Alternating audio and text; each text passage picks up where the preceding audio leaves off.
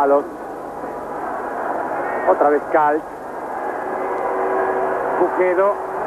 Pujedo. Viralle. La pelota flotando. ¡Gol de Alos! Alos, el número 11 de zurda. Pelota que queda flotando al minuto 30. Allí está la reiteración. No llegó al cierre Pujedo. Va a partir el centro. El manotazo de Villallé.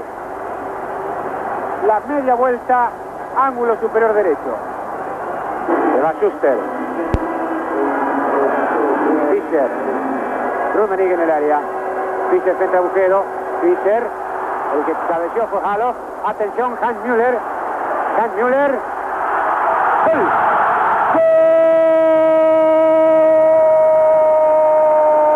¡Gol alemán! ¡Gol alemán! Desguarnecido. Virallé había ido a buscar la pelota. Rummenigge. Solito. Sin problemas. Sobre 12 minutos. Dos para el conjunto alemán, cero para Argentina. Gaspari, Hernández, Carlos López, Carlos López, el rebote, está entrando Ramón Díaz. ¡Gol! ¡Gol Castro!